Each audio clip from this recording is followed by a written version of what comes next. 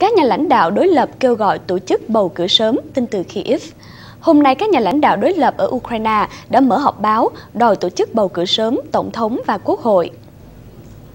Các nhà lãnh đạo đối lập Ukraine đã đòi Tổng thống Yanukovych từ chức sau khi ông ta từ chối ký hiệp ước tự do mậu dịch và cộng tác với Liên Âu sau nhiều năm đàm phán để tái đàm phán với Nga.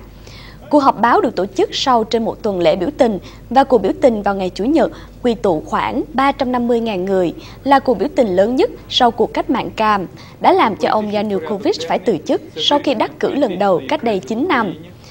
Ông Arseny Yatsenyuk nói rằng tổ chức bầu cử sớm là cách duy nhất có thể đưa tới thay đổi hệ thống ở Ukraine.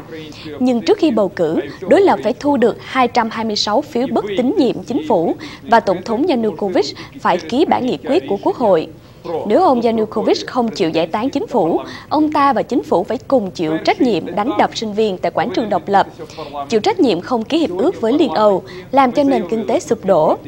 Võ sĩ quyền Anh biến thành chính trị gia và đang làm chủ tịch của đảng Yuda, hay Cú Đấm, nói rằng nghị quyết do ba đảng chính trị trao cho Quốc hội rất quan trọng, cần thiết để cải tổ cơ cấu quyền lực quốc gia.